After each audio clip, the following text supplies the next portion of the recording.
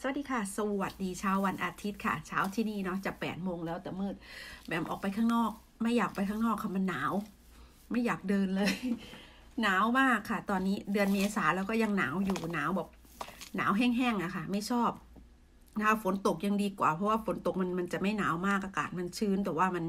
มันยังรู้สึกดีกว่า แต่ข้างนอกมันหนาวแห้งหนาวลมค่ะเลยไม่ได้ออกไปเนาะวันนี้ก็จะมาอัปเดตสถานการณ์อันตรึงเครียดนี้ให้ฟังเนาะค่ะก็ ที่นี่อเมริกาก็ 3 0 0แสนกว่าแล้ว3 0 0แสนเอ็ดเนาะผู้ติดเชื้อโคโรนาไวรัสเนี่ยค่ะ ก็ติดเชื้อเพิ่มขึ้นวันละ3 0,000โดยโดยเฉลี่ยเนาะวันละ 3 0,000 มีผู้เสียชีวิตก็ 8,000 กว่าคนแล้วค่ะ ยอดสะสมนะคะโดยเฉพาะนิวยอร์กนี่คนคนก็ติดหลักแสนนะคะแสนกว่าเข้าไปแล้วนะคะแสนสองประมาณนะคะ ติดหลักแสนนิวยอร์กนี่เป็นเมืองที่ที่หนักมากค่ะ อย่างวันศุกร์วันเดียวเนาะวันศุกร์วันเดียวอะค่ะ มีผู้เสียชีวิตทั้งหมด 600 กว่าคนเนาะ แต่ว่าเมื่อวานนี้แหม่มยังไม่ได้อ่านข่าวเนาะ ยังไม่ได้อัปเดตว่าผู้เสียชีวิตที่นิวยอร์กเท่าไหร่ แต่ว่ายอดจำนวนผู้ติดเชื้อประมาณ 3 0 0 0 0 0เอ็ดทั้งทั้งหมดทั่วประเทศนะนะคะ ตอนนี้ทั่วโลกก็มากกว่า 1 ล้านคนแล้วนะคะ ผู้เสียชีวิต ก็เยอะหันเมืองที่แหม่มอยู่เนี่ยเป็นเมืองเล็กๆนะเมืองเมืองเมืองเล็ก ๆ จังหวัดเล็กๆนะคะเดลาแวร์นะคะก็มีผู้ติดเชื้ออยู่ที่ 593 คนเพิ่มขึ้นเรื่อยๆนะคะอำเภอที่แหม่มอยู่นี้ก็เพิ่มขึ้นขึ้นมาอีกแล้วค่ะหลักโอ้ไม่อยากพูดถึงเยอะๆค่ะ เยอะแล้วก็มีผู้เสียชีวิตเยอะเพิ่มขึ้นนะคะเมืองใกล้ๆเนาะเมืองที่มันถัดจากนิวยอร์กลงมานิดๆนะคะอย่างนิวเจอร์ซีย์เนี่ยก็สามหมื่นกว่าคนแล้วค่ะนิวเจอร์ซีย์ เพนซิลเวเนียแหละเป็นเมืองที่ที่ใกล้กับจังหวัดแหม่มนะคะจังหวัดที่แหม่มอยู่นะใกล้กับเดลาแวร์แล้วก็ใกล้กับนิวยอร์กมันก็เลยแบบมีผู้ติดเชื้อแบบเยอะ คือตอนนี้สถานการณ์ตึงเครียดนะคะไม่ไม่ใช่เมือง freedom อีกแล้วเขาบอกว่า land of freedom นี่ไม่ใช่แล้ว คือจะทำอะไรตามอำเภอใจตัวเองไม่ได้แล้วค่ะแหม่มไปแหม่มไปทำธุระนะ เมื่อวันเสาร์แหม่มไปทำธุระที่ที่ ที่บีดนะที่ที่เมืองที่มีชายหาดเนาะห่างจากบ้านมาประมาณครึ่งชั่วโมงอะค่ะ ก็ไปทำธุระแล้วอย่างหนึ่งเครียดด้วยอะไรเงี้ยก็เลยบอกสามีเดี๋ยวขับพาไปดูทะเลหน่อยอะไรเงี้ยค่ะ ทีแรกเขาบอกว่าตอนเขาประกาศเขาบอกว่าตอนที่อ่านนะอ่านอ่านที่เขาประกาศว่าเขาบอกว่าบีดมันไม่ไม่ได้ไม่ได้ปิดซะเลยทีเดียว ถ้าสมมติว่าคุณสามารถไปเดินไปออกกำลังกายได้นะพาหมาไปเดินได้อะไรอย่างเงี้ยค่ะ แต่ พอไปถึงณจุดนั้นเขาปิดหมดเลยค่ะเขาประกาศปิดเป็นเป็นเป็นบอร์ดปิดไว้ว่าปิดไม่อนุญาตให้คนเดิน ไม่อนุญาตให้ให้พาหมาไปเดินได้อะไรอย่างเงี้ยค่ะ ก็คือแต่ว่าก็ขับรอบๆแหละค่ะ ไม่จอดก็มองเห็นทะเลก็ยังชื่นใจว่าว่าได้เห็นทะเลได้เห็นน้ำทะเลเนาะเปิดเปิดกระจกสูดเอาความ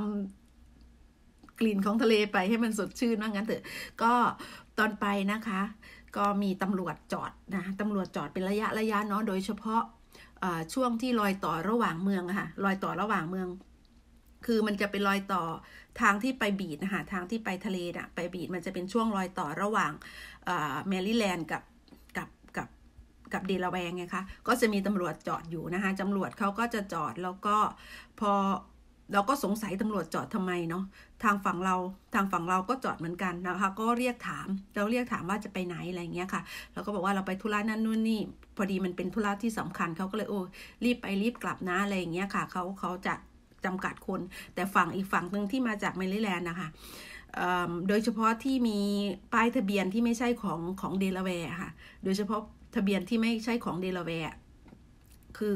คุณจะต้องเขาไล่กลับไปเลยค่ะ เขาไล่กลับไปเลยเขาไม่ให้เข้าเลยค่ะ แต่ว่าป้ายแท็กเดลแวร์เนี่ยเขาก็จะตามที่อ่านข่าวนะคะ เขาก็จะให้ถ้ามาต่างรัฐคุณต้องการันตีนก็คือกักตัวเองอยู่ที่บ้าน 14 วันนะคะกักตัวเองอยู่ที่วัน 14 วัน เขาก็จะมีข้อมูลว่าเนี่ยนะรถคันนี้ป้ายทะเบียนนี้นะอยู่ที่ไหนนะต้องกักตัวนะ ก็จะมีคนเฝ้าระวังติดตามนะคะว่า คือมาจากต่างรัฐนี่ให้ใกล้กักตัวแค่มาจากต่างรัฐนะคะก็ก็ให้กักตัวแล้วก็คือตอนนี้คือจะไปไหนมาไหนก็ ก็ได้เฉพาะอยู่ในบริเวณอำเภอของตัวเองนี่แหละค่ะ ในในโดเวอร์นี่แหละ อย่างไปซื้อของซื้อกับข้าวอะไรเงี้ยก็ได้แค่นี้ ไปไหนไกลไม่ได้ค่ะ อย่างออกไปเส้นทางหลักนี่ไม่ได้เลย ได้เหมือนกันแต่ว่าคุณต้องมีเหตุผลค่ะคุณต้องมีเหตุผลสำคัญว่าคุณไปทำธุระอะไรอะไรอย่างเงี้ยค่ะ ยากยากใช้ชีวิตค่อนข้างยากค่ะ ค่อนข้างลำบาก เพราะว่าเราไม่รู้เนาะว่าสถานการณ์มันเป็นไงคือยอดมันมันเพิ่มขึ้นทุกวันไงคะยอดมันเพิ่มขึ้นทุกวันมันมันไม่ได้ว่านิ่ง ถ้ายอดนิ่งสักสี่ห้าวันเนี่ย มาตรการอะไรต่างๆ ก็น่าจะทุเลแล้วว่าแต่ว่ายอดมันเพิ่มขึ้นทุกวันทุกวันทุกวันนะคะ แสดงว่าคนก็หมายถึงเขาเขาคงอนุบาลเอาเนาะค่ะว่า คนก็ยังไม่ไม่ไม่รักษา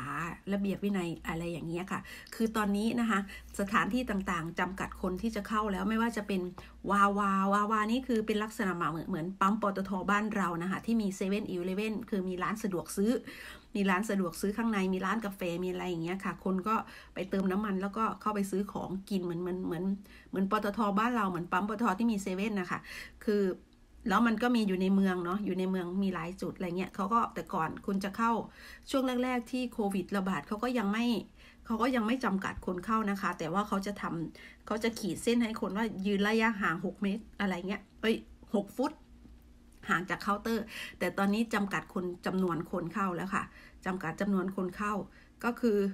คุณจะต้องรอคนนึงเข้าไปก่อนนะคนนึงเข้าไปก่อนไปทำอะไรเสร็จเรียบร้อยแล้วเราก็จะออกอีกฝั่งหนึ่งอีกคนนึงก็ถึงจะได้เข้าอะไรเงี้ยคุณต้องเข้าคิวค่ะ แล้วทีเนี้ยเขาก็จะมี shield อืมก็จะมีแผ่นพลาสติกกั้นระหว่างแต่ก่อนมันไม่มีเนาะเดี๋ยวนี้เขาจะมีแผ่นพลาสติกกั้นระหว่างแคชเชียร์กับกับผู้ซื้อนะคะคุณเวลาจะจ่ายเงินก็หย่อนเข้าไปหย่อนเงินเข้าไปเหมือนกับไปธนาคาร เพราะว่าธนาคารที่นี่เขาจะมีเขาจะมีเขาเรียกเขาเรียกอะไรอะ่ะเขาจะมีเหมือนกับวินโดว์อะค่ะ มันจะมีเราเราไม่เราไม่ต้องเข้ามันจะมีเข้าสองทางขอโทษค่ะพูดติดขัดเนาะคือธนาคารอยู่เนี่ยเขาจะมีสองทางเลือกคือ คุณจะเข้าไปข้างในก็ได้ หรือคุณจะฝากถอนทำธุรกรรมต่างๆ เหมือนกับ drive to นะคะ เหมือนขับรถเข้าไปแล้วทำทำผ่านหน้าต่างนี้ก็ได้อะไรอย่างเงี้ยค่ะ แต่ตอนนี้คือธนาคารเปิดให้ทำเฉพาะ drive to ก็คือ ให้ทำเฉพาะผ่านหน้าต่าง เจ้าหน้าที่ก็จะมามีมีเขาเรียกว่าอะไรก็มีลิ้นชักออกมาแล้วก็ใส่ไอ้ปลาลิ้นชักก็กลับเข้าไปเขาก็ไปทำธุระให้เราอะไรอย่างเงี้ยค่ะ ก็เป็นอย่างเงี้ยมามาประมาณเดือนหนึ่งแล้วนะคะสำหรับสำหรับแบงค์เนาะเขาก็ป้องกันตัวเองนะคะ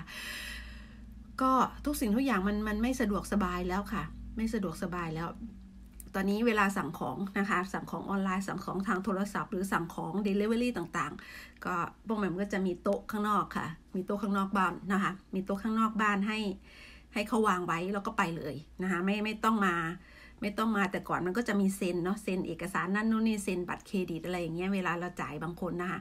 บางบริษัทบางที่เดี๋ยวนี้ไม่แล้วค่ะ คือจะให้ทิปก็ให้ในในนั้นเลย จะให้ทิปก็เวลาโทรสั่งหรือว่าสั่งออนไลน์ก็ให้ทิป พนักงานหรือคนส่งของในในตอนจ่ายเงินเสร็จสับเรียบร้อยเลย ไม่ต้องมาให้ทิปอีกต่างหากอะไรเงี้ยค่ะ ก็จะวางไว้หน้าบ้านครบไม่ครบไม่รู้ก็เอาไว้ก่อนนะคะ ก่อนวางหน้าบ้านก็ต้องทำอะไร ต้องเอาไอ้แอลกอฮอล์ผ้าแอลกอฮอล์ไปเช็ดก่อน เอามือไปจับอะไรเงี้ยค่ะ เพราะเราไม่รู้ว่าเนาะว่าว่าว่ามันจะเป็นยังไงอะไรเงี้ยทุกสิ่งทุกอย่างคือ ใช้แบบความระมัดระวังในการใช้ชีวิตอย่างมาก ๆเลยค่ะ ก็ มาเล่าสู่ฟังเนาะมาบ่นให้ฟังนะคะ ว่าสถานการณ์มันเป็นยังไงมันมันก็แหม่คิดว่ามันก็น่าจะเป็นทั่วโลกแหละ แต่ว่าโชคดีที่บ้านเราที่เมืองไทยอะค่ะ มันยังมีแดด มันยังมีทุ่งนาให้ไปออกไปใช่ไหมคะมันอยู่บ้านนอกเราเนาะอย่างเมื่อบ้าน เมื่อบ้านกับเมื่อวันใดแล้วค่ะ ตอนนี้กลับบ้านก็กลับไม่ได้แล้วนะคะเเขาก็ระงับชั่วคราวเนาะไม่ให้กลับบ้านนะคะ ไม่ให้เดินทางออกจากสหรัฐแล้วเรียบร้อยค่ะ แต่ก่อนยังมีฟิตทูไฟใช่ไหมคะ คุณจะต้องขอเอกสารจากหมอหมอต้องรับรองให้คุณ แล้วบินภายใน 72 ชั่วโมง คุณบินได้ เดี๋ยวนี้ไม่ได้แล้วค่ะ ยกเลิกทุกสิ่งทุกอย่างนะคะ ยกเลิกยกเลิกทุกสิ่งทุกอย่าง บางคนก็บินมา บางคนก็เพื่อนนะคะเพื่อนบางคนก็จะกลับบ้านนะคะก็บอกว่ามารู้สึกมาจะมาต่อเครื่องที่ซานฟานหรืออะไรสักอย่างนี่แหละค่ะ แล้วเสร็จแล้วก็ไม่ให้กับตัวแคนเซิลทันทีเมื่อวานเมื่อวานมันก่อนมั้งคะก็แคนเซิล ไฟบินทุกสิ่งทุกอย่าง เพราะว่ารัฐบาลไทยไม่ให้บินเข้าแล้วนะก็ต้องไปนอนในสถานทูต หรือว่าสถานทูตที่สถานทูตจัดให้ต้องติดต่อสถานทูตสถานทูตก็จะจัดให้แล้วก็กลับบ้านค่ะบินกลับบ้านนะบินกลับ LA ไปนะคะมันมันมันหลายสิ่งหลายอย่างค่ะ ตอนนี้ก็คือ มันมันวุ่นวายไปหมดเนาะเพราะฉะนั้นก็ต้องอยู่บ้านนะมันจะได้ไม่เกิดความวุ่นวาย แต่ก่อนเคยโหยหาวันหยุดเนาะเคยโหยหาวันหยุดทำไมมันไม่ได้หยุดอย่างนั้นอย่างนี้ทำงานหนัก ไม่มีเวลาวันหยุดไม่ได้หยุดเลยไม่ได้หยุดพักผ่อนไม่ได้หยุดทำความสะอาดบ้านไม่หยุดดูแลบ้านดูแลครอบครัวตอนนี้ได้หยุดแล้วค่ะ เป็นไปตามความมุ่งมั่นปรารถนาจริง ๆนะคะ ทุกคนก็อยู่บ้านเนาะบ้านก็จะสะอาดสะอานไม่สะอาดก็ลกเพิ่มขึ้นแล้วค่ะวันนี้ก็ไว้แค่นี้ก่อนเนาะโม้นานแล้วนะคะ ก็ขอให้ทุกคนสุขภาพแข็งแรงนะคะ รักษาดูแลตัวเองเนาะ ก็หาอะไรทำแก้เซ็งแก้เครียดมันก็ช่วยได้บ้างละค่ะ มันก็ช่วยได้ไม่ได้ร้อยเปอร์เซ็นต์แต่มันก็ยังพอมีอะไรให้เราจุดจ่อทำนะคะ โชคดีทุกคนนะคะ สวัสดีค่ะ